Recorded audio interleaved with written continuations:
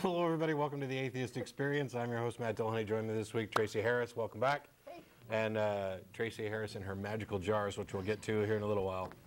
Um, we are live. Today is Sunday, February 22nd, 2009. Um, the Atheist Experience is a television program uh, on public access TV, sponsored by the Atheist Community of Austin. I almost forgot what we were and where, you know, what's going on. We are what we are. We're live, in case you couldn't tell by uh, all the mess ups. Um, we're sponsored by the Atheist Community of Austin, a nonprofit educational organization that promotes positive atheism and the separation of church and state. The ACA has weekly meetings every Sunday at Romeo's on Barton Springs Road, beginning at around 11:30, except for the first Sunday of the month when we host a lecture series at the Austin History Center, located at the corner of 9th and Guadalupe, all here in beautiful Austin. Uh, there won't be a lecture uh, for March.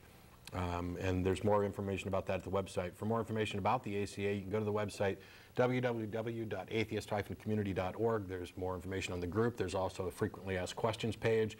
There's a contact form. There's uh, information about discussion groups and email lists.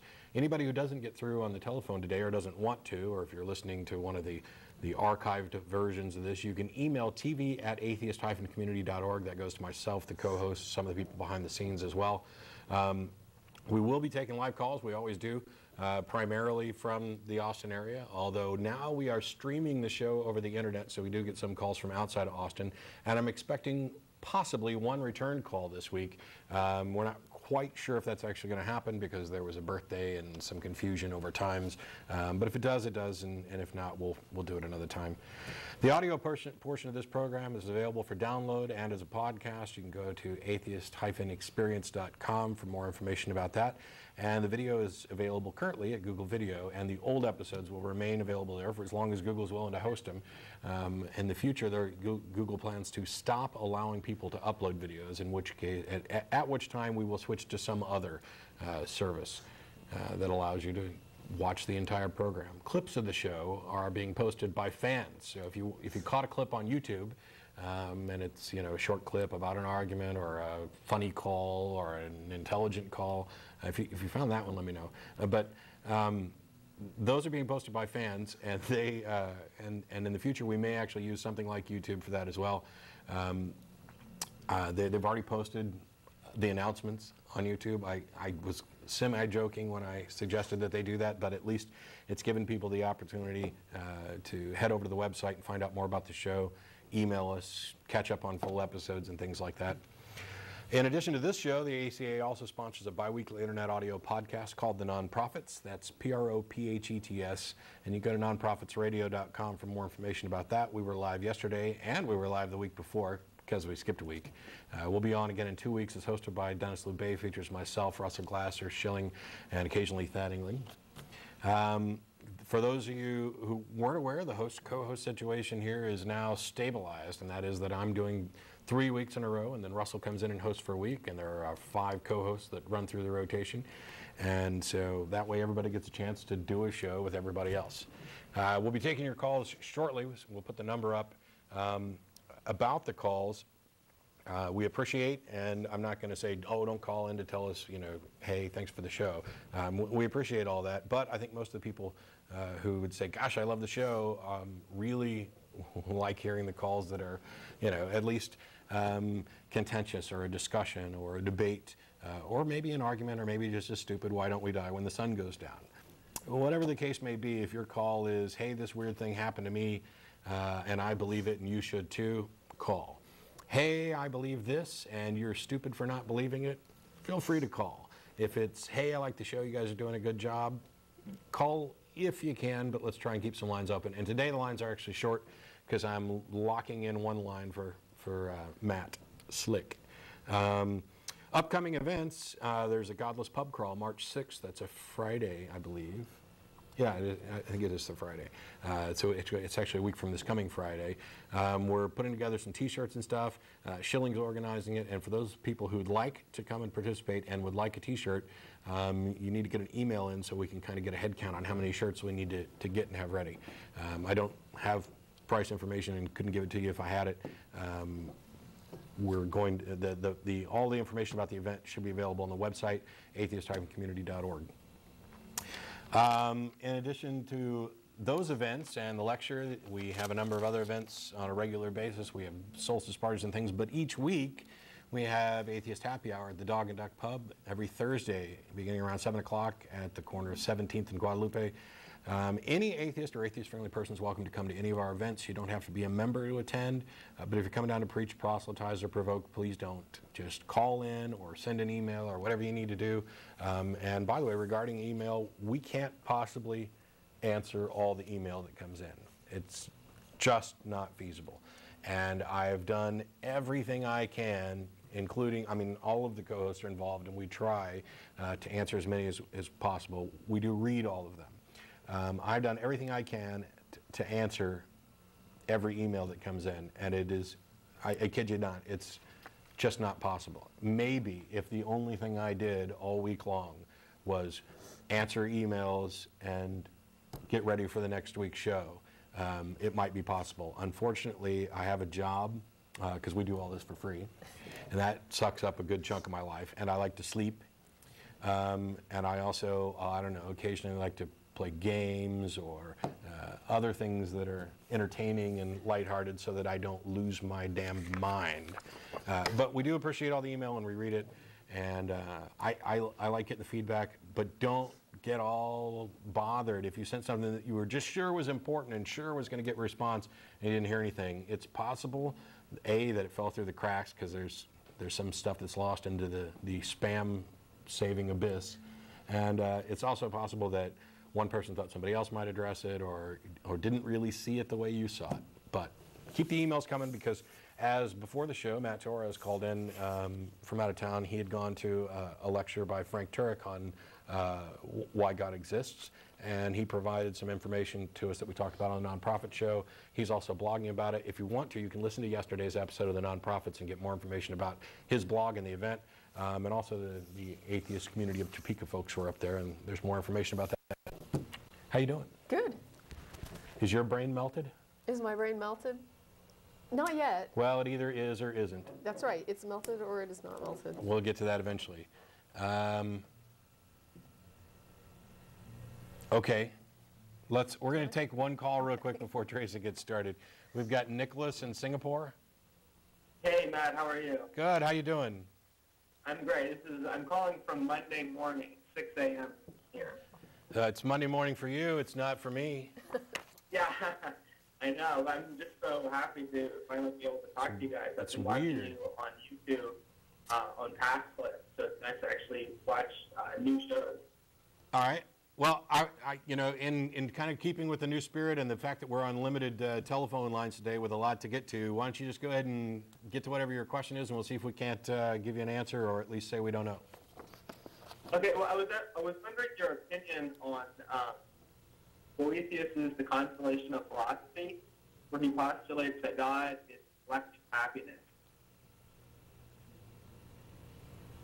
The kind of what? God is happiness? Yeah, basically, not, God is not a creator. God is is, uh, is the drive or the Okay. conscious all Uh, men are striving.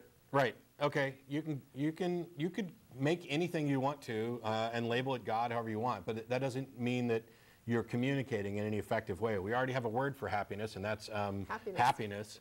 And so, why call happiness God? To me, what this is, and I, I talked about this um, two Non-Prophets ago um, because Schilling and I had a discussion. This is one of my biggest pet peeves. The, in, in- our purpose is to communicate and communicate effectively. Words themselves have no intrinsic meaning or value. They're labels to concepts that we have. And the only way communication can happen is if we're using labels that we both have a similar or near identical understanding of.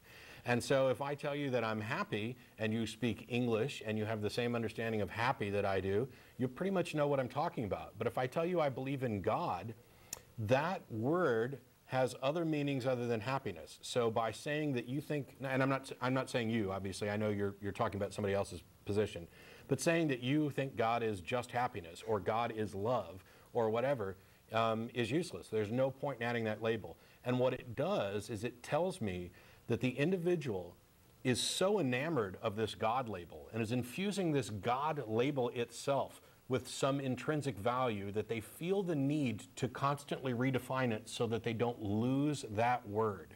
Go ahead, lose the word. If it can be redefined to be anything, then it's nothing. It's, it, it's a meaningless construct.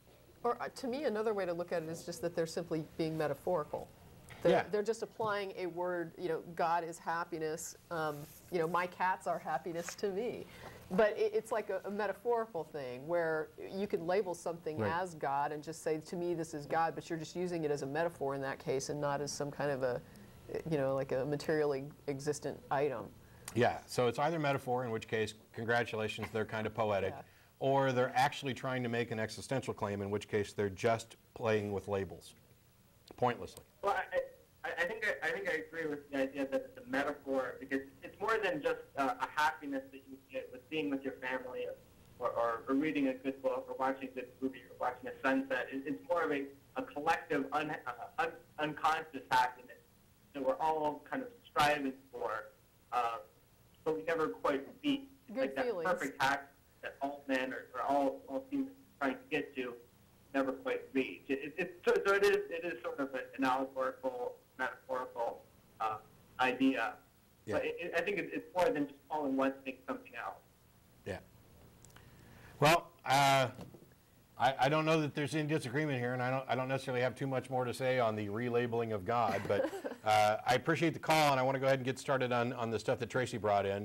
Um, All right, So- great. Well, thank you. Thanks, Nicholas. Appreciate it. I should ask him how the weather was in Singapore. That was Oh, yeah. that was going to be my shtick. You know, somebody calls in from How's outside. I ask them, And "How's the weather?" Ah, you should be in Austin. I had, beautiful. you know, I got short sleeves and the and the air And on. I'm wearing a scarf. Yeah. She's But- wearing a scarf and I'm in short I'm always sleeves. freezing in the studio, though, that's why. It, it, it can get a little chilly in here, All except right. uh, in the summer. So. Um, Wait, let's do the first chunk. Yeah, let's do. Let's Okay. let's get started. So if you're if you're on the line, uh, please hang, Hang on, on. because we, we want to get started on the subject for today, and you don't necessarily have to talk about that. Okay. Today I brought a model that I made that is uh, meant to demonstrate particular fallacies. And Mm-hmm. it, I find it interesting because in my mind this thing demonstrates a load of fallacies. It's not just one. It's like handles a lot of them. And what it, the way these are set up, what they model is in this jar there is existent dice. Can, And can we get zoomed in a if a you can little bit? see them. It's jar with dice inside it. is there a close-up or is it not don't know. working? Okay, and then in the second jar, I have non-existent dice.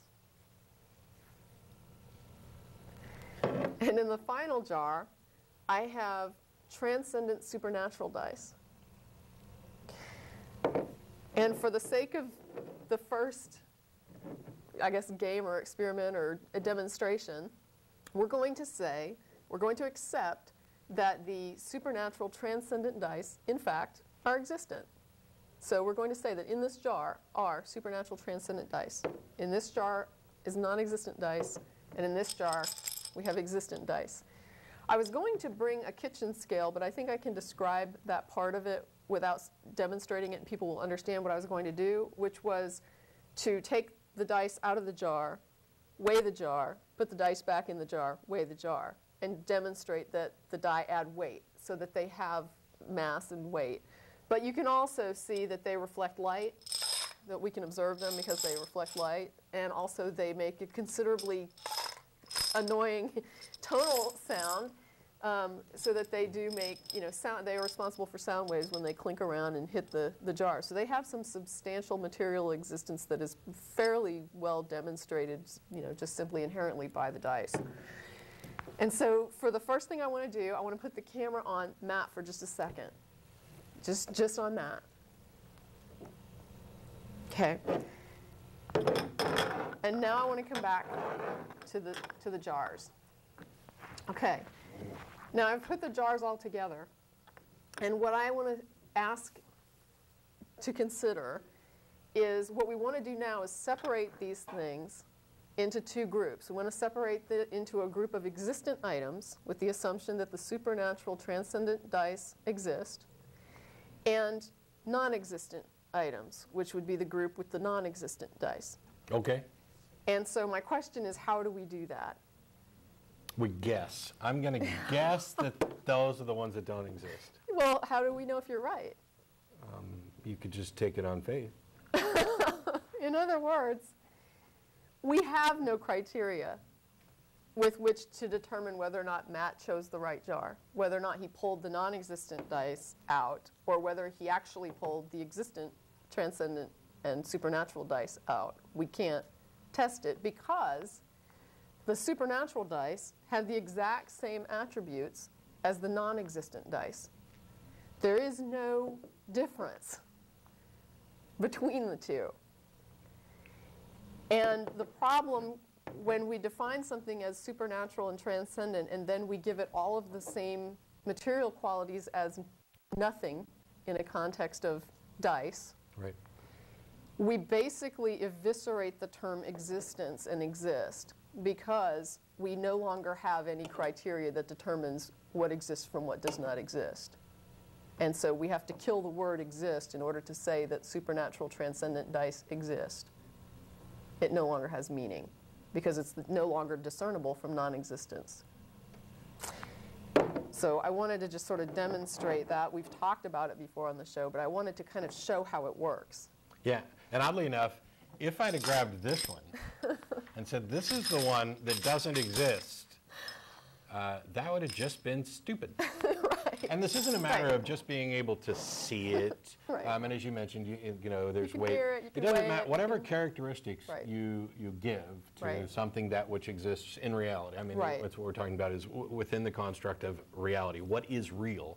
Um, and, and in part, um, you could make the argument that uh, maybe one of these contains more molecules of air than that one, and we, Sure. we're unable to discern which one's which right now. Sure. That's that's you're correct, and that's a limitation on, on our ability to discern at this moment at this table. Right. But in a lab, we could. Right. And then you could say that, well, maybe there's just, the, and our inability to discern the difference between a transcendent, a transcendent existent object and a non-existent object um, is just a limitation of our ability to discern. Maybe it is. Yeah, fine. It's still, we still need criteria for existence. Yeah. So it, if that is The, the point, the point, though, is that if it's beyond our ability to discern, Right. you can't make any statement about which one is. So you Existence can't, oh, it exists, you just can't tell it. Existence is whatever is materially manifest, Yeah. And what is not is considered non-existent until such time as it demonstrates a material manifestation. It, it is possible that there are supernatural die in this in this jar. Yeah. But what I'm saying is, if we can't tell them apart from non-die, Yeah. And what what is the difference between nothing and the something that is the same as nothing? Yeah, and I don't, I, I'm trying to avoid getting hung up on the, the, the visible or the tactile or anything else like Right. that.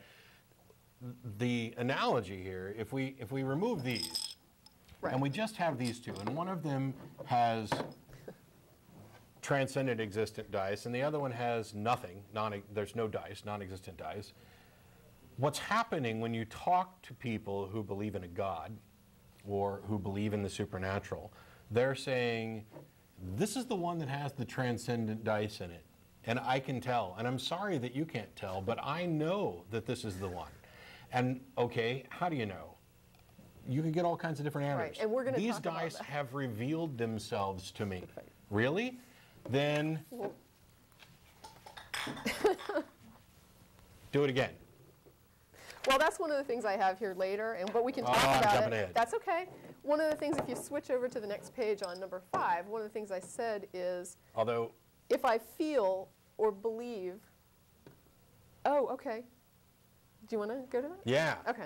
So keep that burning in your mind for a little while because um, we, we have on the line uh, a caller from last week, uh, Matt Slick from uh, carm.org. You there, Matt?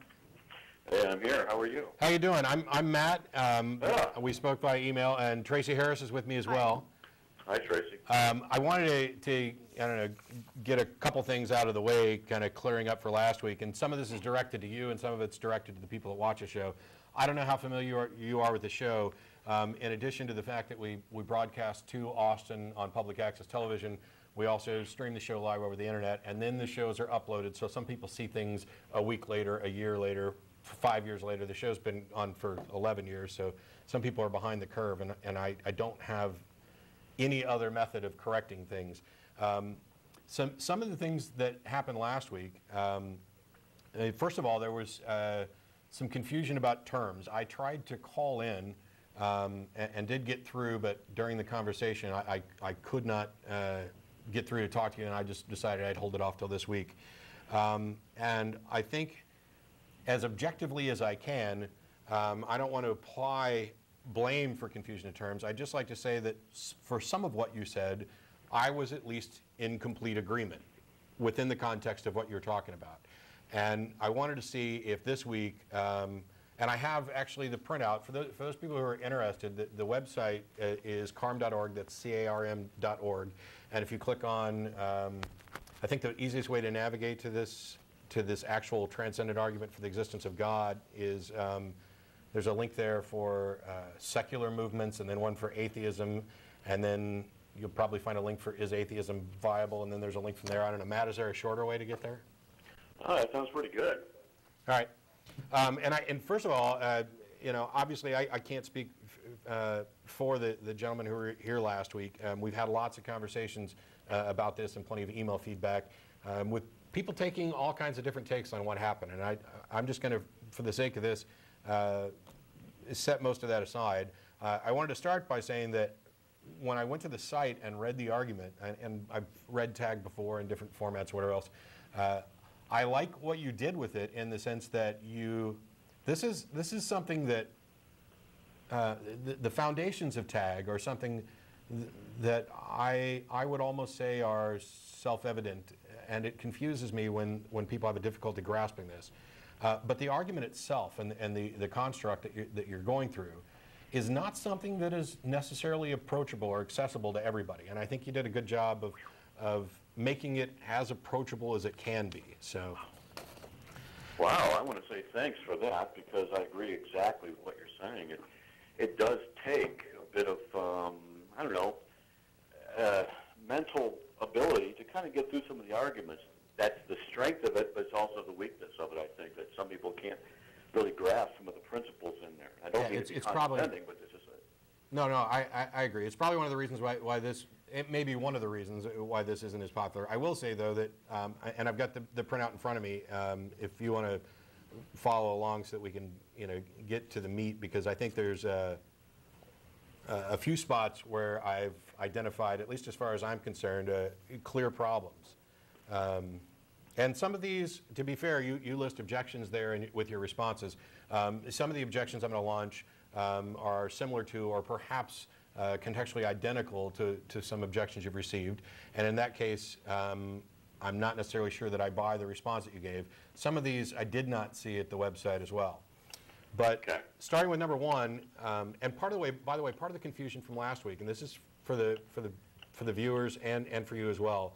Um, you, when you started talking um, in in your written version, you're very clear. You, you logical absolutes, logical absolutes, logical absolutes, so that you so that the the person who's reading this knows that you're not talking about just logic, as in the model that we use, the application of these absolutes. You're talking about the absolutes themselves, and we're talking we're talking about uh, classical logic as well, Aristotelian uh, syllogistic logic. Although I'd argue that all the other versions are still dependent upon this. I mean, we're talking we're talking about something that's absolute um, in that sense. Matt, I'm surprised again. Well said. I, I told you, I'm, I'm, I'm, in a, I'm in agreement here. Here's the thing. So, so we're, we're going to go ahead with uh, number one. There's the law of identity, the law of non-contradiction, and the law of the middle. Um, okay, fine. I, I, I got no objection to those. Um, number two, logical absolutes are truth statements, such as that which exists has attributes and a nature. And yeah, I, I would not only agree with that, but I'd say that, that these absolutes only apply to statements that are truth statements. If there's something that is inherent, except in a meta sense, and I'll, I don't want to confuse everybody, but I'll get to that in a second. If there's a statement like, um, this statement is false, which is internally in contradictory. These absolutes don't say that any statement you could make is necessarily true or false. These absolutes say that any statement you could make have the characteristics of whatever that statement is and not the characteristics of whatever that statement isn't. Did you Let me jump in. I'm with you. the statement, this statement is false, does not fall into the category of excluded middle, but under the category of uh, non-contradiction because Right. it's a self-refuting statement. Yeah. I'm, I'm with you there too. Okay? So then we get to logical absolutes or transcendent. Uh, actually, I, I, I'm going to, I'm, for the purposes of this, um, number three is logical absolutes form the, form the basis of rational discourse. That's, that's where I, I was agreeing with you before as well, that um, without these absolutes, uh, you, you really can't make truth statements and, and anything could be contradictory. You have no way of discerning what is or isn't. That's correct. Okay, so number four, logical absolutes are transcendent. This is the one where, where you kind of got an objection, um, although I think that the discussion was referencing two different things. And also, I think that a lot of, um, I, I don't want to say atheists, that's, that's not actually correct. Um, secularists um, have a knee jerk reaction to the word transcendent. Um, and it's justified in, in the sense that how transcendent is used colloquially is something that we would obviously launch an objection to. But that's not the usage you're talking about here. Really, your usage is, uh, it should, it might be better just to say non-contingent. It's not contingent upon space, time, matter, or thought. Um, yes, uh, as far as logical absolutes not be contingent upon thought, uh, the nature of logical absolutes is that they are conceptual. Thought is conceptual. Well, would you're getting ahead of me. You, you, you're getting ahead of me. And, and actually, to be fair, I, I did move ahead, so go ahead. Uh, so I wouldn't necessarily agree with the last premise there in that uh, they're not of thought or things like that, but they're not contingent upon physical uh, existence. Yeah. And the reason we know that is because of the property material. You probably get into that. I'll let you read through it, uh, the property function. But go ahead. So, so, so we, we've reached essentially the first part where I think there's a problem. And that is in, in number four, on number three, uh, four sub three, you say logical absolutes are not dependent on people. That is, they are not the product of human thinking. My response to that is, I agree. They are not the product of human thinking. And we're talking about the absolutes here. Um, I, I would just extend that to say that there's no reason to think they're the product of any thinking. And the only reason I can see that you wouldn't simply put that there is because in a minute you're going to turn around and argue that they are a product of thinking. I'm not sure how to answer that. Um, uh, because, if I can get this out. To say that the product of thinking, um, since they are conceptual by nature, it's like saying they have to exist if someone thinks them. Uh, but then is the thinking the process, the res- uh, bring, bring the result of a logical absolute? Well, then you'd fall back under the category of them being formed by someone's thinking. That wouldn't work. What, that's, I think that's partly why I'm obje- objecting to, well, we're, we're not quite to number six yet, but we are because we're, we're meshing this together a little bit. Um, number, this, we'll, we'll set aside this disagreement on number four for a minute, just for, for clarity. Um, five, we'll just grant that they're not dependent on the material world, and, and move on to six, where you're, where you're saying logi- logical absolutes are conceptual by nature. And I'd argue that you're using the wrong word there, um, just for the sake of clarity. That instead of conceptual, which implies this problem you were just talking about, that, you know, that it is some product of thought, that the correct word to use there is actually abstract. That logical ab- absolutes are abstract by nature. Um, we define abstraction, and abstraction requires uh, mental processes. Yeah. Yeah, it, it requires mental processes uh, in the sense, uh, wow, there may not be a good word for this. Um, See, I, let me let me jump in a little bit and help you out because I've honestly I've wrestled with just that right where you're at. well, there is a flaw. There is a flaw, a logical flaw in 6.1, and that's easily to de- that's easy to demonstrate. I- irrespective, Saying, are you saying that logic is not a? Because logic is a process of the mind, is what six uh, A says. Excuse me. And you're saying logic is not a process of the mind? No, this is, this is the fallacy. This is the fallacy I'm talking about. All, all the way up to this point, you say logical absolutes, logical absolutes, logical absolutes, and then you say logic is a process of the mind. What you're doing in 6.1 is making an inductive argument. You're saying logic is a process of the mind, and that I would agree as long as we're talking about logic in the sense of the models that we do, the, the application of these absolutes. And you're saying logical absolutes provide the framework for logic, which I agree with. But then you say, therefore, logical absolutes are conceptual by nature. That is a logical fallacy. To say that the, the application of X is conceptual, therefore X is conceptual, is a logical fallacy. Okay. So then let me ask you, are you saying then that a logical absolute, such as a law of excluded middle, is not a conceptual reality? Um, I'm saying that that may not make sense. That it, it depends on what your definition of conceptual is. That that's what we're having the struggle with. Of the mind. I, the, I would say that that absolute is not contingent on any mind, could not be. And when you get to your conclusion, where, where you get to that, that logical absolutes are contingent upon the mind of God, that this is actually self refuting. Um, no, I would disagree, of course. Okay, can God make A not A? No, Why not? because it would be a logical contradiction. Which means. God, which means God is subject to the laws of logic, these absolutes. He, therefore, he cannot be the author of them. Okay. Um, I hope I. Last week when I was talking, each time I would start to give an answer, Okay. the hosts would jump in and not let me finish. I actually received numerous emails from atheists who pointed out that very issue. I'm not trying to be whiny and complaining, but uh, you know, it really does help when asked a question if I can actually complete the thought. I mean, I'm not trying to be complaining here, but I, I hey, think you know, I've been pretty fair today, and Yeah, I'm stopping, and I'm stopping so that you can do that. You know, I appreciate that. Now, I like the way that uh, you present your yourself because I can tell you're articulate and, intelligent, so I like that. But um, now I forgot where I was actually. But uh, no, God did not author the logical absolutes. They are what we would say. We're jumping way ahead, but what we would say is they are part of His nature and His essence. God cannot make A be non-A any more than God can lie or God can stop being God because God has certain a certain nature and he must operate in a manner consistent with his own nature. Right. This is the Christian worldview. I, I, So I, since- I understand that. So since certain things are just impossible, like a square circle, God cannot make a square circle because it's a logically impossible thing. Right. And the problem here is that what you're saying is that these absolutes exist. And th- this is the problem with actually the whole argument. Calling this the transcendental argument for the existence of God is, is to me problematic because what it really is is an argument for why are there logical absolutes. So you construct an argument, and by the way, I, I understand you didn't construct this, although this version is yours. I, I, TAG's been Right. around. An argument is constructed to say, to explain why the logical absolutes are what they are. And in doing so, there are possibilities.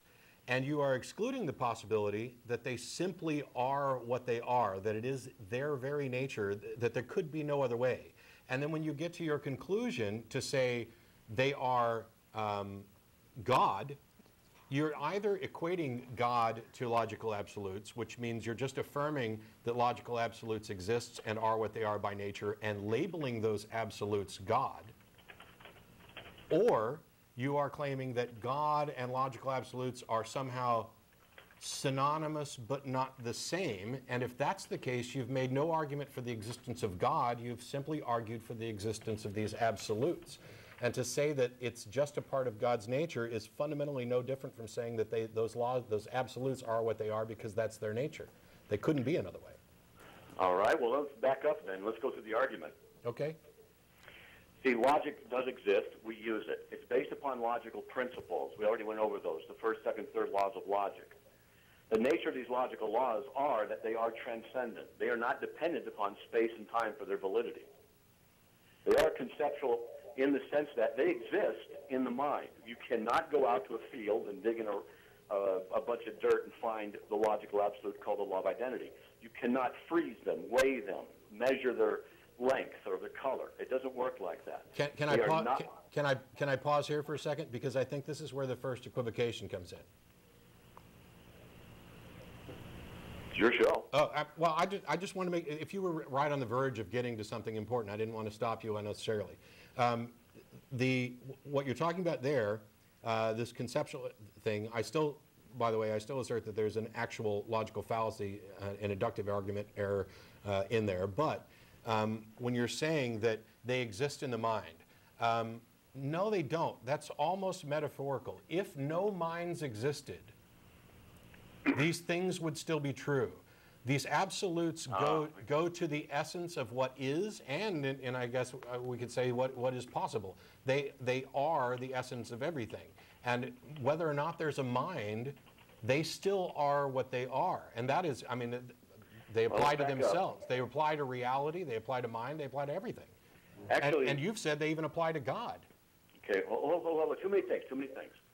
First of all, you said they are what they are. Uh, that's fine. Saying that the absolutes are God, I did not say that, nor was implying that. You said or, that God and the logical absolutes are synonymous, not the same. Well, we could ferret that one out. But you said if no mind exists, then they would still be true. Well, that's not a logical statement. Because truth is a mental statement. Truth Uh, is all right. a, truth is a statement. Now, if no mind exists, there can be no truth. There can only be reality and actuality. This, this is where this is where you have essentially palmed a card in the argument, because the logical absolutes that you're talking about are operating at a meta level, and then when you say they're conceptual, you're you're applying them. You're actually I'm using saying that they, I'm saying they're conceptual by nature. The statement, That for is- example, the law of identity, something is what it is, is a statement and it's a truth. Truth exists only when minds exist. Tr- truth only exists when minds exist. Statements are So- of the mind. So what you're saying is that let's let's just say, and I, I realize that this is, is going to be contradictory. Hopefully, you'll be able to go along with it. Let's just say that there is no mind anywhere. The universe is exactly the identical, except that there are no minds. Okay, Then there is no truth. But that's not what the logical absolutes are about. They're not about truth. They're about essence. A rock in that universe is still a rock, and it is Okay. not not a rock. It doesn't Okay, matter if there's somebody who can assess the truth, put a valuation on the truth. Those absolutes go to the essence and not the evaluation of it. On the contrary, logic reflects reality. This is why we're able to do mathematics. This is why we're able to make conclusions that work in the real world. The meta-analysis you're trying to get to is an attempt to distinguish the ontological nature of them from the truth statements of what they are, separate them, which I think is a category mistake on your part, and then say there is no real reality relationship. And obviously that cannot be the case because we exist in reality, we use them all the time. You're the one. Logic- y- y- you- uh, logical absolutes are statements, and they do relate to truth because it is true that a statement cannot be both true and false at the same time. Because the nature of the second law of logic states a statement cannot be both true and false at the same time. The very nature of the statement of law of logic there deals with the nature of truth, and which contradicts what you said earlier. No, no, it doesn't. Here, here's the Yes, thing. it does. Hey, well, okay, then I guess you're right. If, if your only response to, is to interrupt and say yes, it does. Is, is that how that only works? response. It's not my only response. I Uh, gave you a good one. I, I'm, I, well, you didn't let me get to, to respond to this. You're talking about two different things. The statement, x equals s. Yes, that statement does not exist if there are no minds to make that statement. Uh, its truth value is, is meaningless and pointless if there aren't any minds to assess it. And yet, that's not what these absolutes are. These absolutes are not the statement within the mind the statements point to the absolutes. A rock in a universe with no minds is still whatever it is, and it is not whatever it is not. That's the absolute. The understand what you're saying. statement is not the absolute. And when you say that these logical absolutes are not are transcendent, that they are not dependent upon matter, that they are not dependent on anything in the universe, and then turn around and say that they are conceptual and that they are our reflections of reality, you are contradicting yourself. Actually, sorry, I mean, Matt, I love this conversation, but you're the one offering a self-contradictory statement. When you say the only thing that exists is a rock, and a rock is a rock, what you're offering is a self-contradictory statement. The only thing that exists is a rock, and then what you do is violate that and offer a truth statement, which violates. No, I never, I Yes, never said, I never, would you, I never said the only thing that exists is a rock. I said in a universe that is identical to this, but in which there are no minds, a rock is still what it is. I did not there- say the only thing that exists is a rock. if there are if there are no minds and a rock is in existence and you make the statement that it is true as it is, you are making a truth statement. I am making a true statement. universe. I am making, not- I am making a true statement in this universe where minds exist. In the other, in the other universe where no minds exist, no truth statement could be made, but the rock is still a rock, and it's still not not a rock. Then what you're doing is affirming that the law of identity is still true, whether or not you're there to know it or not. They're not Exactly. That's what we mean by absolute and non-contingent. So then you have a non-contingent, conceptual absolute, not dependent upon a mind. Not con- not conceptual. That's the that's the How. That's can the a point. statement not be conceptual? The statement is occurring in this universe. There would be no statement in the other universe, but the essence would be the same. How can a statement exist without a mind? It cannot. Because because the logical absolutes are essential and not conceptual. Okay, what you're doing is saying that the nature of logic itself is concomitant with the existence of physical properties.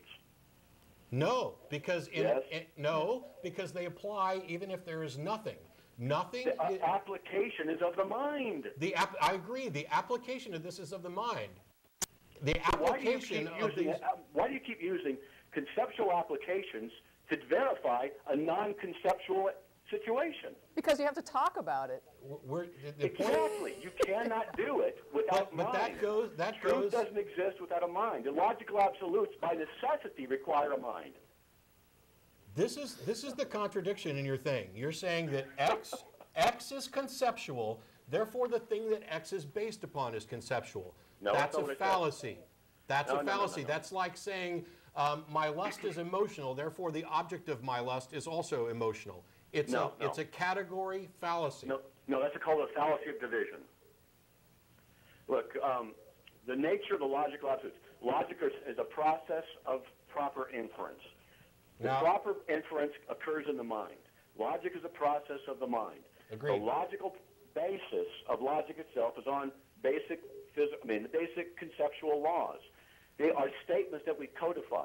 All you do is when you say, "Hey, look, we are the ones codifying what already exists," you're not saying anything other than they are either the property of the universe, which can't be, or we are inventing them by codifying them. And you're saying then that what they really are are dependent upon human minds for their existence. No, no. What I'm saying, I, I agreed with almost everything right up to the end, except that what you've done is you've talked about two different things. You've talked about logic, and that is the process that we go through, the thinking, the model that we build in our mind that reflects reality. That is necessarily conceptual. But these logical absolutes that we talked about, they're not logic, in, they are the foundations upon which logic is built. They are What true. the They are hang on, they are true, and they are true. And you, you went to universe and you went to reality.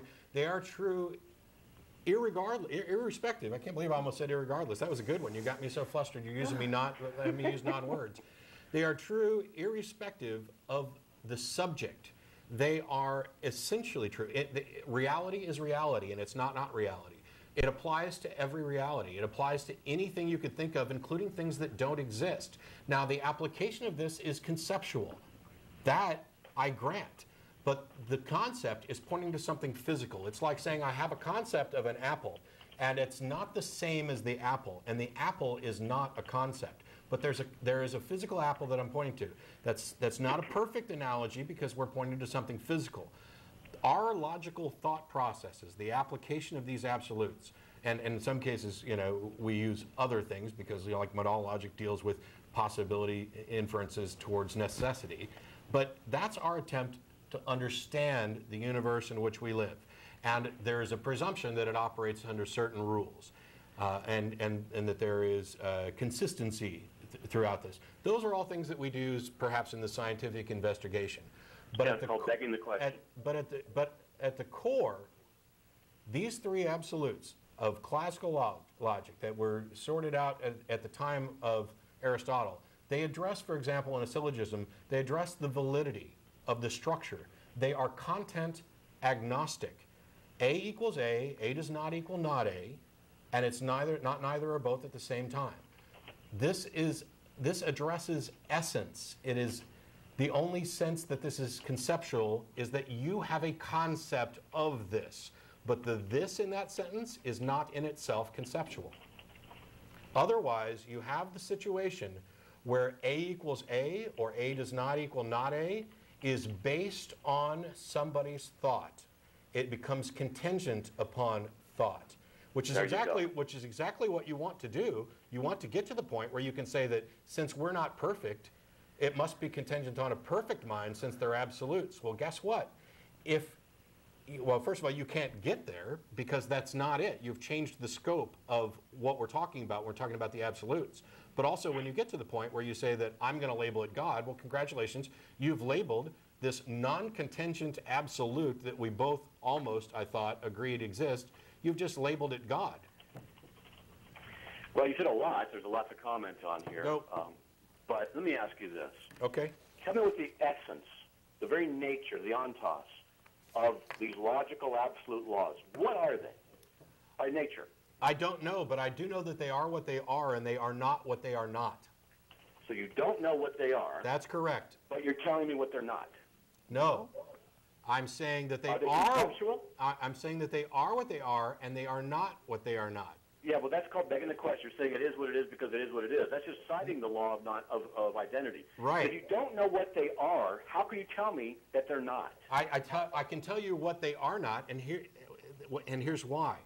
Tell me what Because, not. because, because are is one thing, and are not is everything that isn't that one thing. And so if I had identify anything in this pool, that doesn't mean that I've eliminated this entire pool. Can you tell me what the logical absolutes are not? Um, I, am not talking about um, them in the physical sense of an essence. So they're not physical? I, I have no idea. Well, all right. You- If you're going to tell you me are that I'm asserting, wrong, you, need to be able to identify what they are. If you can properly tell me what it's not. No, See, no, no, no, no. I do not. No, I do not need. Okay, then you need to be able to identify what God is before you can tell me that He is. Okay. And, and you got to you got to prove this. You can't just assert it. No, you said, so I, how do I prove? This is the proof. I'm saying we're, we're talking in one context, and, and I'm afraid I, I, I, there's a limit to how long I can let this go on before we start losing call losing callers and viewers. Um, and, and maybe we can take it offline, discuss it in email, and get back to it again on another call. But what I'm saying is, you're saying that they are that they that these laws are transcendent, not contingent. Um, although you you leave one mind as an exclusion to that, um, and absolute. And I'm saying, and then you go on to say that they're conceptual in nature because we think about them. And I'm saying No. that that argument is logically flawed. I'm not saying they're conceptual in nature because we think about them That's them. exactly what you said. No, that's, that's not what I'm saying. Um, I'm saying that we are able to think about them, and because we can recognize them doesn't mean that they are of our minds. It means that we recognize them. It's the same as I recognize them in my Right. So, backyard. Well, what so, so what are you its nature and its recognizing? So what are you recognizing? Because if you say I can recognize an I'll apple, hang on. Because if you say I can recognize an apple and therefore the apple is conceptual, that is exactly what you're saying in this point, and that's the fallacy I'm pointing out. Okay. You're citing the law of identity. Look, I'm a theologian, and if someone were to come to me and say the Trinity is one God in three modes or forms, I'd say, no, that is not right. The reason it's not right is because it violates what the true definition of it really is. This is what it really is. I'm able to etch, uh, to recognize what is wrong because I know what it really and truthfully is. How do Now, you know? How do you because know? I know from the scriptures what it is. That's a whole other topic. If you want me to come back on and discuss the Trinity, I will. But here's the thing. The principle is this. And if you want to tell me that I'm wrong about de- deciding what they are, defining what they are, and you can't even tell me what they really are, then you have no logical business of telling me that I'm wrong. That, that, sir, is a complete fallacy. I identified a logical fallacy in your argument. My inability to Actually, tell you, my inability to tell you exactly what they are does not mean that I can't identify one of the things they're not. But that is all irrelevant to the point that you have built this on a logical fallacy. You have said that logic, our thought process, is conceptual, and therefore the absolutes upon which it is founded are also conceptual. And that is fundamentally the same as saying I have a concept of an apple, and therefore the apple is, co- is also conceptual. That is flawed. The argument is flawed. It's not what I'm saying. But I'm saying I, that I'm if you sorry. I'm sorry that you don't see it that way, but the structure is the same. Well, I can say the same thing about you, Matt, respectfully. I'm sorry you don't see it that way. But the fact is, you don't have a standard by which you can judge whether these logical absolutes are or are not conceptual. I'm asking you for a list. Tell me what they are not. I will write them down here on my computer as we're talking. You're You tell asking me. not. You're asking me to prove that a God doesn't exist, essentially. No, I'm not. And. I don't. Yes, you are. Essentially. No, I'm not. Yes, you are. Let me finish. No. I'm not. I'm asking you to tell me. I'm going to hang up on you in a second, Matt, if you don't let me finish this. I'm making an analogy here. I'm sorry that your brain missed it. You are essentially asking me to prove that a God doesn't exist and claiming that a God does exist in your mind until I actually demonstrate that he doesn't. That's what you're doing the same thing No. with these with these logical absolutes because you're saying and you just said a second ago that if I can't tell you what they aren't, I can't tell you what they are. No, I do not believe in putting an atheist on the spot and saying, prove God does not exist. It's proving Then stop doing it.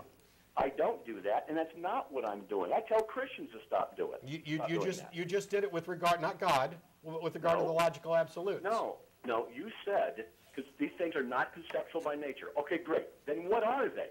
And you couldn't get, tell me what they really are. They are non-conceptual. There are So two. There are okay. two possibilities. They are conceptual or non-conceptual, and I'm saying they're non-conceptual. Okay, great. Now we're making progress. I said if they're that an hour ago. If they're non-conceptual, then I'm going to assume that what you're meaning is they're physical.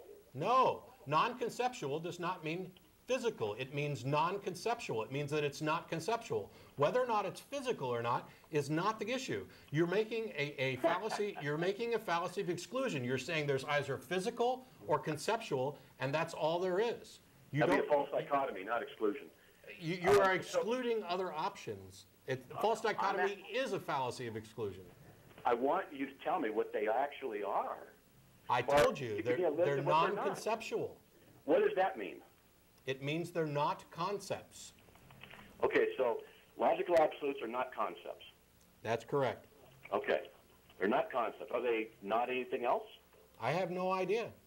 Okay. What, what, what does anything, what does anything else mean? So that you know for a fact that these things are not concepts. Um, do you know for a fact they're absolutes? The statements are non-concepts. So A is equal to A. That's All a the time. non-concept. Um, A is equal to A It's a non-concept. Both i- are- is both are not a concept, but we can, we can conceive of that. The statement is not the essence. But it's not a concept, but we can conceive of it. The Do you know of any place where A equals A exists outside of the mind? it doesn't exist. It doesn't exist? That's then how correct. come we're talking about it? No, no. Now you've now you've really changed scopes because existence. I'm sorry if we're using a different word here. Um, goes back to what what is in reality. These Is things my thought a reality? these things transcend reality. Reality is subject to them. Do, do your thoughts exist? My thoughts exist. Yes, Okay, then we have concepts that really exist. Yes, we do. So the statement But I said that A they're not concepts. A is a conceptual statement. It Yes. exists. Yes, the con- the conceptual statement A equals A exists. So that it exists in your mind? The conceptual statement A equals A exists. The Okay, actual, so the actual, the actual thing that that statement points to is not a concept. Ah, it is a truth statement, which This- is conceptual by nature, which properly reflects reality. You cannot give me the necessary preconditions for intelligibility. The only thing you can do is presuppose the validity of logic without it giving the necessary conditions for its existence. The very argument of TAG is this. They are conceptual by nature because they are of the mind. They only occur in minds. You don't find them under rocks.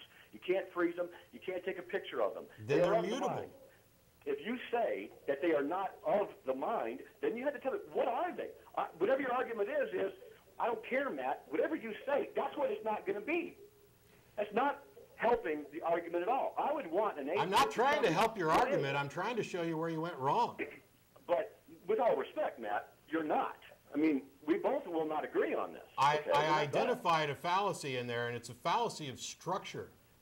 I've It's- it- corrected many of the times you've cited a fallacy being wrong, saying, no, that's not it. It's actually this one. No, you have you have said it's not a fallacy, but you haven't actually uh, corrected it. You've just said that it's not a fallacy. When we're, what, we're, what we're talking what we're talking about here is, and, and you keep changing scope. Woo! There is there is in my mind a concept, a concept statement, A equals A. That concept statement is a concept in my mind. It points to something, just as a concept of an apple points to something. In the apple case, it points to something physical. In the concept A equals A, it points to something abstract. Yeah. Did you invent the concept? No. It's not dependent upon you. Uh, it's no, it's not. The, the, the concept, the concept itself, that concept statement i- is uh, not dependent upon me, but it is, Right. com- it, is- the concept statement itself is contingent upon my existence and my ability to conceive it. Because if I'm Ah. not here, because if I'm not here, then my concept disappears. Ah, so different minds can think these things up and bring them in or out of existence according to their creative ability? It- No, they don't bring them in and out of existence. They bring the concepts in and out of existence. Whatever concept Okay. you, whatever concepts you have in your mind, you have brought them into existence in your mind. Not in reality, not not as a physical thing. In your mind. Let me run with that. Let me run with that a little bit. You're an atheist who denies the existence of God, period, right? Um, wow, where'd you get that from? I, I'm going somewhere, but, but am I right? Um, Let me, oh, okay, let me ask you this. I'll just say ma- I'll say you are because at least for every um, practical definition of God that I've ever heard, that's not you know God is love or happiness or or something where where God is being a label stuck onto something else or God is the logical absolutes.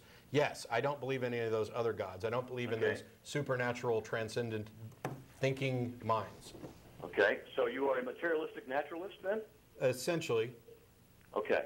That would mean then that to burning this down really quickly, your mind, your brain, is the product of physical properties in the universe and biochemical reactions.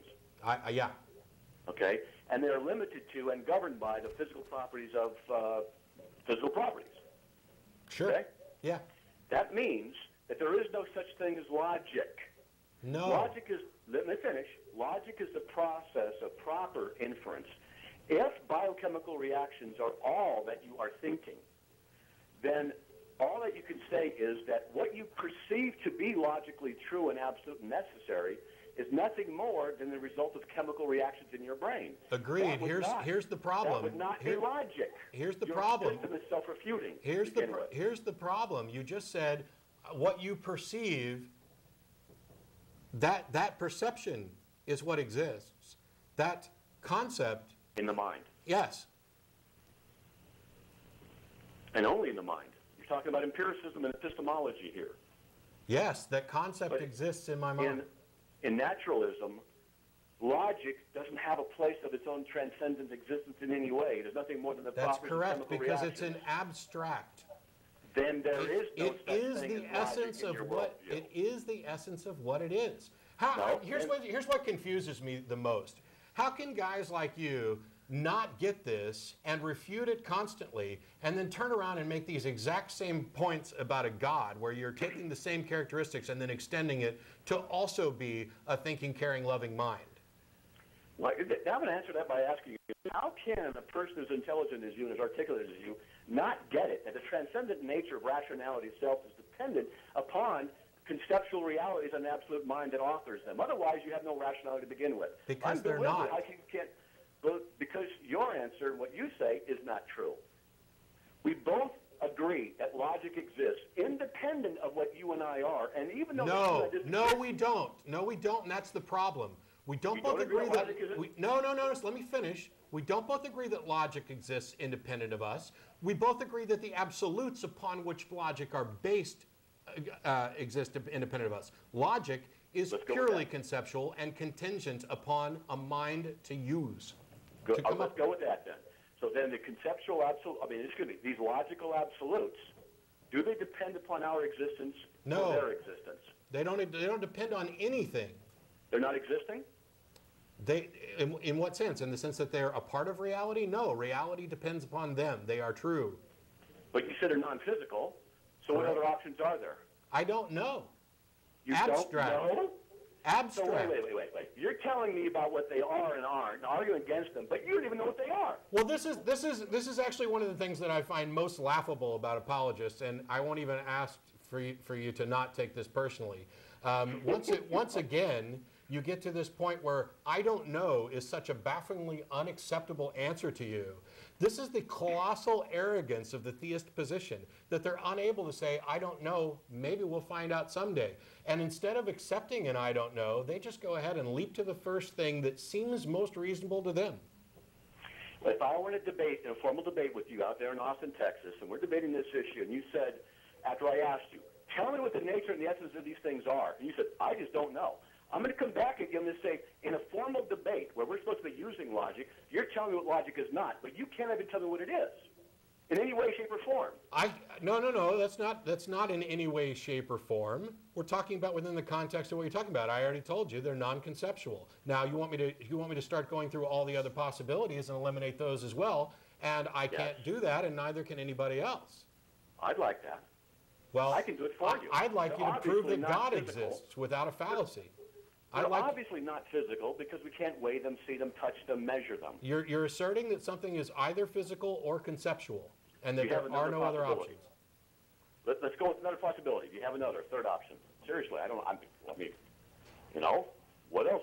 In existence, some of these are physical, or I know that thoughts exist. My thoughts exist. I can't freeze them or weigh them. But that's so existence- There's a conceptual that- reality, and there's a physical reality. What other reality have you got to offer? Okay, what, wh- how does God exist? Because that's existence within reality, and we're talking about something that we've already defined as transcending reality.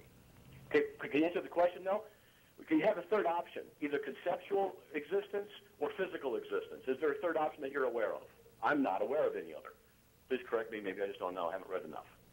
Um, what I'm asking is about what you mean when you say exists, because when we talk about exists, That which is. we're talking about essentially um, within the bounds of, of, of reality, and that includes concepts. There you go. Concepts and physical um, But- nature. But that existence is subject to those absolutes, which is why we agreed in the first place that they are transcendent, that they are not contingent upon any matter, any space, or any time.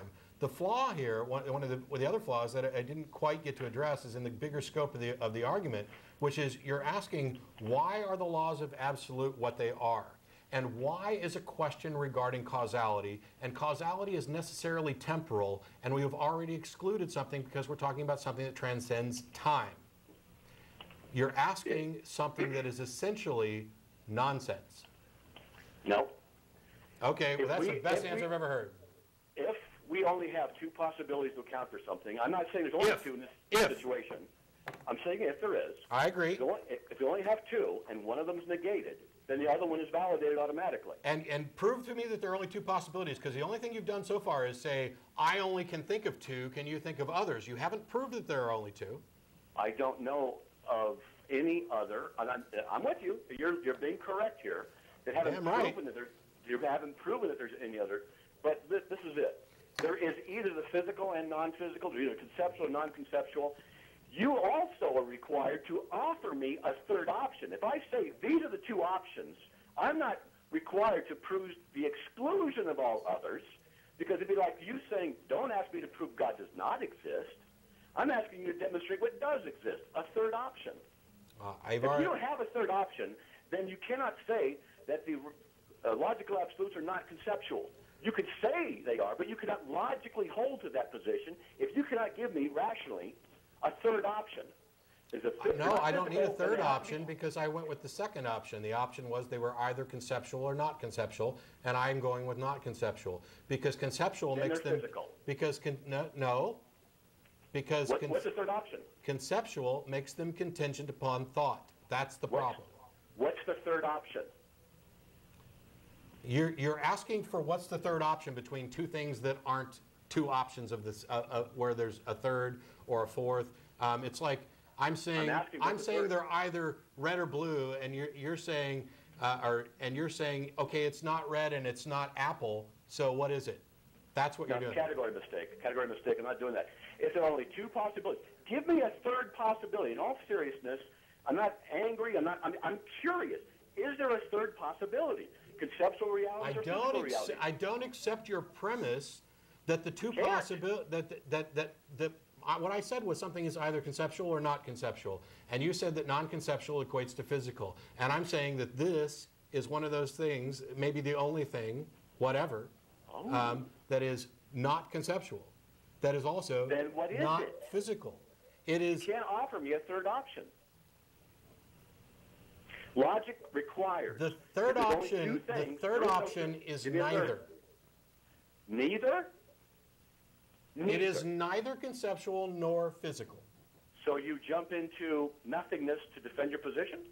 No, I'm Yes, saying they neither. are what they are. This is an essential. And now, What's and now, essence? and now, and now, Matt. After 45 minutes or so, um, I can't count the number of times I've repeated this.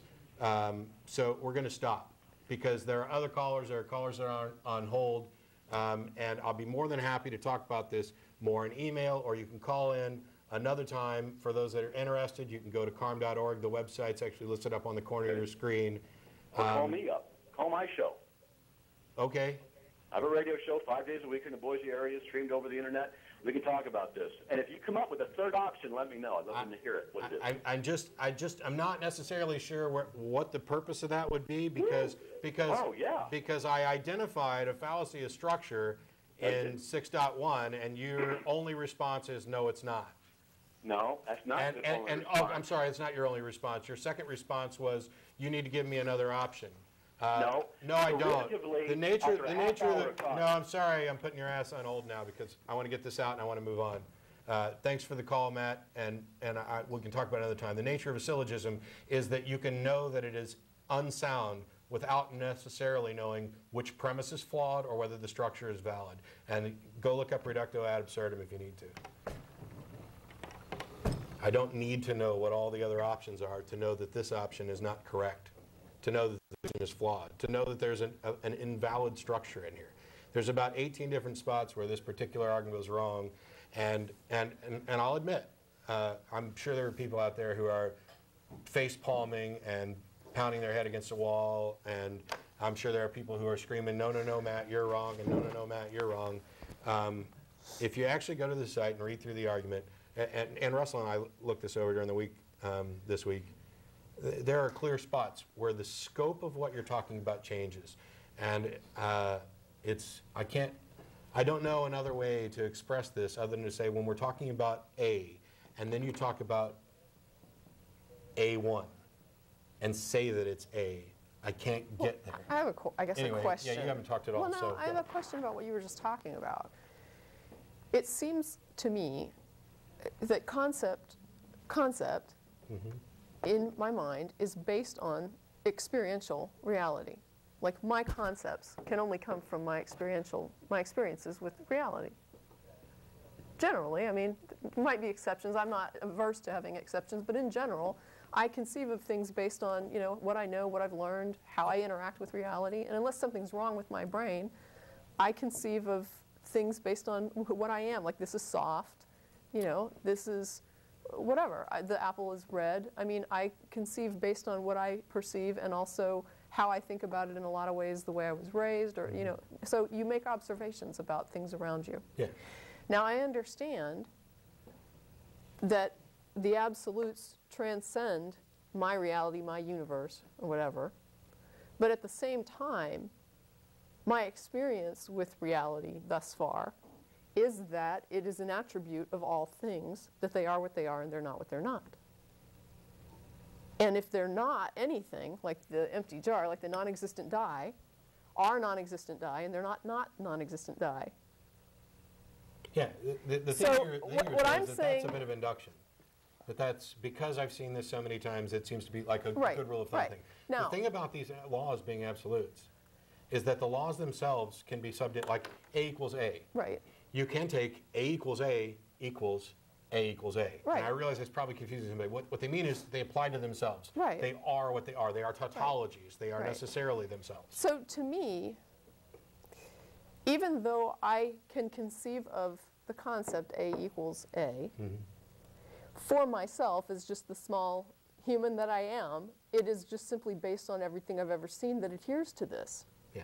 And then the idea of saying it's transcendent would be, you know, I can't really think of any kind of universe or situation or time or anything that would impact where this wouldn't be true, or where this wouldn't be correct, or where this wouldn't be the case, or where this wouldn't be the nature of whatever is or isn't there. And so it seems to me that, that it is a concept that's based on an observation of simply saying everything I know works this way, and you know what? I can't even think of how it wouldn't work this way.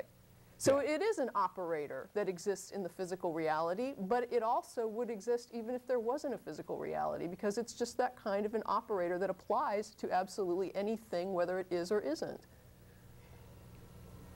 Ye- Yeah, it's, it might be fair to say that it, that, that, that this law, um, It's an observation on reality or, or on any reality. Yeah, but the, the problem with saying that though is that now you've tied it to an observation, that you've tied it to, No, the observation is my conceptualization of what I'm Yes. experiencing, And- but it's there. I mean, it's it's this, this. this goes beyond what you're actually experiencing. But Okay. anyway, um, Well, yeah, it does. But I'm just saying that the reason I would conceive of it is because everything I experience adheres to that.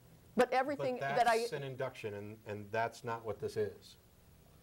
the concept though is The concept is our, right. yes. Yeah. But what I'm saying is the concept is based on what I. I mean, I get the concept from what I observe. But then what I can realize beyond that, what can I extrapolate beyond that, is that even things I couldn't observe, anything I could possibly make up, this would apply to. Yeah. And so And it applies to itself. I think that in our minds, the concept does derive from reality, from physical reality. But that doesn't mean that it wouldn't apply to any kind of abstraction. It could. He, he's talking, he, th- his question though was about the, the actual thing that we're talking about. It's not a thing. It's an observation Well, yes, on something that is a quality of every single thing that is or isn't. it, but it's, yes, it is a, a quality. Yeah. I mean, I don't know. We, we got callers waiting and I'm Okay. pretty sure that right. there's going to be mail that I just don't All even right. want to look at this week. But, and, and we'll see, maybe Matt will be back on the show at some point talk about something else. Maybe he won't. Maybe that was more than enough for any of us. But we've got Amy in Panama. How you doing? Thanks for waiting. Hi, how are you? I'm good, and you get to talk to Tracie. Hi. Well, um, what's it uh, for it- you? Oh, sorry. You had a question for me. Go ahead. I'm just well, kidding. well, it, it applies to both. It could apply to both of you. I just, um, I, I saw your show. I've seen your show um, on YouTube. Basically, it's all I've been watching this weekend. Um, I actually live in Florida, so I can't see who who else is there with you. I'm sorry. It's me and Tracie. okay, Tracie. Yeah, hey. Um, hi. Um, Matt, you said that you have 25 or so years of experience in the church, and um, I was wondering if any of that was, uh, how much of that was in childhood, like young childhood. Well, I'm, I'm going to be 40 in February. Oh, okay. Um, So it was. And, and, and to clarify, this is just an, uh, a minor little point about phrasing.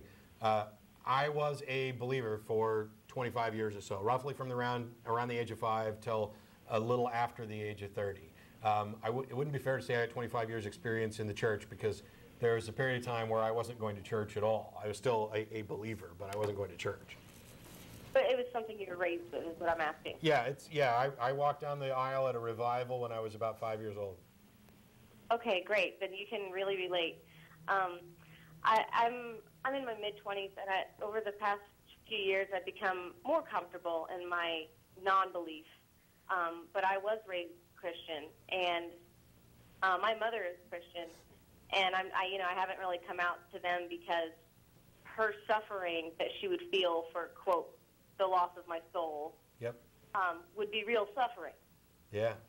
and I'm not comfortable with that. Um, but mostly my question is uh, this fear. Uh, when I, you know, when you get a little tipsy or get in an altered state, you, you ponder different things, you know, and there's always in the back of my mind there's fear, and it's and I know it's that's how they work you, that's how they get you as a child, Yeah. How long Um, has she been away from it? and it's I I feel I feel robbed. Basically, I feel like if I hadn't been raised in the church, I'd be able to think of things on such a deeper, more complex level. And I I just wonder if this fear of the like I feel like I betrayed my my parents and the community and things like that because I don't believe it anymore. and I just wonder how long does this take to go away? How long have you been out? I haven't been out to to my parents, um, but I've been comfortable with my non-belief for about one or two years. But I've always had this nagging fear, Fear, fear of what? just anything. Um, you know, you'll think about, oh, well, maybe hell exists or this or that, Right. but it's it's ridiculous. Yeah, that goes away. Uh, It just takes some time. Yeah, Because- I, I, I don't, I can't, I can't tell you how long it's going to take to go away because it, and, and, and maybe for somebody it doesn't go away. Uh, and I agree, it's, it's one of those insidious little leftovers uh, of religion. And um, it's kind of like, I guess the best example that I, that I ever came up with was when somebody asked, you know, don't you, don't you miss, you know, I mean, once upon a time I believed that when I died I was going to go to heaven, and they're like, don't you that? and you know that that feeling. Well, I suppose perhaps I missed the feeling, but in recognizing that that feeling was caused by something that's not true, not only have I not lost something, it's not like I lost the opportunity to go to heaven. I realized that I never had the opportunity to begin with. That realization is more knowledge, which betters my life and betters my perception of reality. Everything that could have been a negative about this, the discovery that it is a negative is a positive and it outweighs everything that was negative. I just want to add, I, somebody wrote in and I just compared it to um, like a stray cat that I adopted. And all my cats, like that I've had that have been taken care of since they were kittens, they'll lay on the floor and when I walk by, they don't move and I have to step over them. But this cat that I picked up as a stray, if you even walk near him, he gets up and runs away like you're going to step on him or kick him. And it breaks my heart to see that because I know that he's afraid of me even though I would never hurt him. But whatever his past is, he's obviously afraid of being kicked or stepped on, and he moves out of the way if he sees you walking near him. So I hope one day that'll go away because I hate to see some but something cringing out of fear just because it was taught that earlier. I hope one day he can realize there's nothing to fear from me.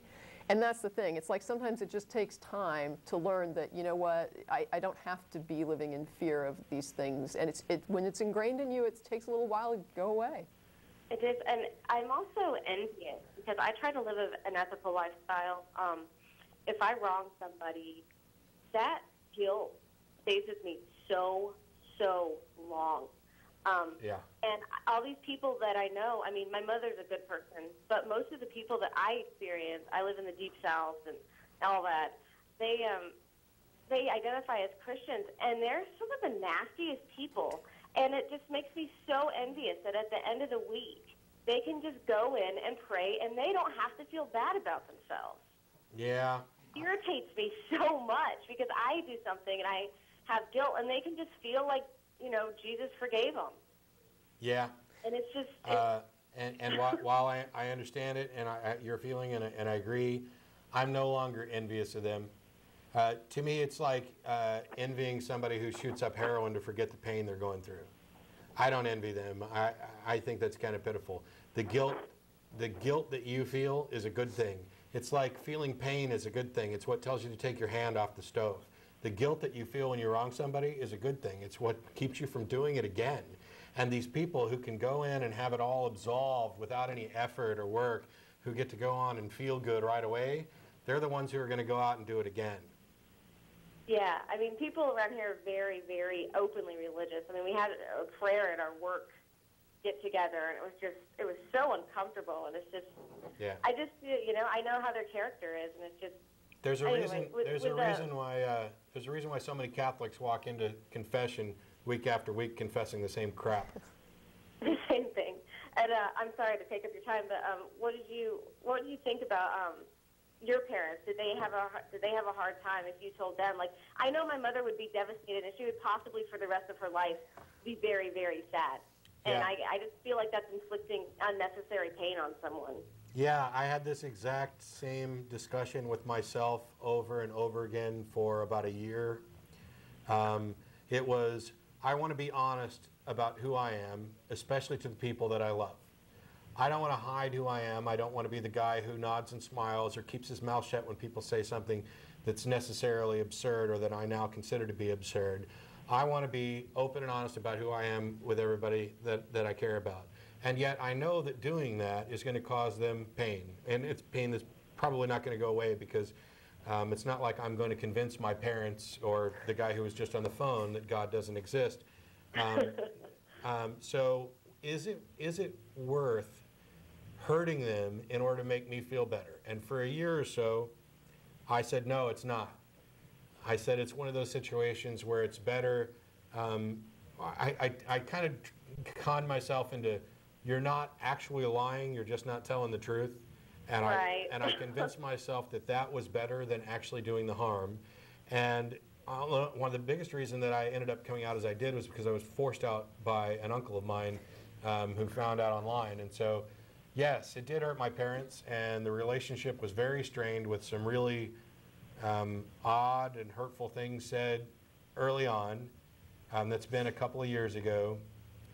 Um, now, things are not things are never going to be normal or back to the way they were, but things are close to normal.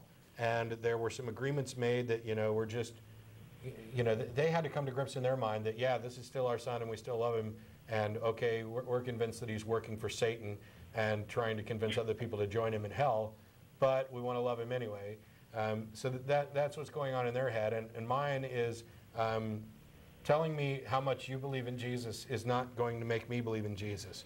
Um, if you believe there's a God and that He answers prayer and that He'll reveal Himself to anybody who asks, then the best thing that you could do instead of preaching or stressing or worrying is to pray that He'll reveal Himself to me because I'm not going to deny it if He does. I might not worship Him, but I'll at least believe in Him. Um, Well, the, the, the concept of intercessory prayer to me is just insane anyway, because if God has his mind Yeah. made up and his will is perfect, then who the hell are you to, to ask him to change it yeah, if you believe in it?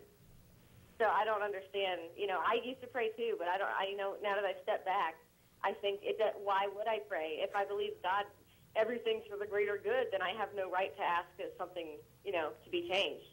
Yeah, unless, unless the sense. greater good includes you asking, but anyway, we don't want to go down the track. Anyway, um, I, I can't say you'll know when the time is right, because that might not be true.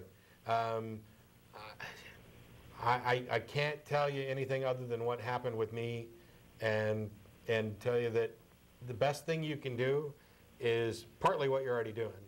Um, be yourself, but um, there are so many people who uh, leave religion and then end up feeling alone because everybody around them is religious. And one of the Yeah. reasons that the ACA exists and why we have so many events and things like that is so it's not just so we can sit around and bash Christians, although I'm sure we'll do some of that tonight, but uh, it's, it's so that people who would ordinarily feel alone because they're not part of this extremely large majority and they're also looked down upon and having their rights infringed upon by this majority. Th- So those people have somebody like-minded to share time with. And so finding not just an atheist group, but uh, a secular free thought, ethical, humanist, whatever group in your area, any, any group you find that keeps you active with like-minded people where you're not ostracized for something you believe uh, is beneficial. Yeah, I'm not sure how many of those there are around here, but uh, I, I appreciate your time and. Well, uh, you're welcome to move to Austin. You're, you're always welcome to move to Austin. Oh, thanks. Live music hope- capital of the world, beautiful weather. All right, well, I'll consider it then. All right, thanks a lot, Amy. We appreciate the call. Have a good night. You too. And, and I'm still doing all the talking. That's all right. So, Debbie, how are you? Hi there. You're, you're from How Florida you? too. I'm good. Good. I'm tired. I've been watching your program on YouTube, and I've been enjoying it very much. Well, thank you. And I thought I'd call because I wanted to talk to you about a couple of things that bother me uh, about religious people. And the first thing that bothers me about them is that when you tell them that you don't believe in God, they tell you to go read the Bible. And what what puzzles me is that when all you have to do is read the first few sentences of the Bible to know that this is a book of fiction. And what good is it going to do to read more of the Bible and, and, and read more stories of more fiction?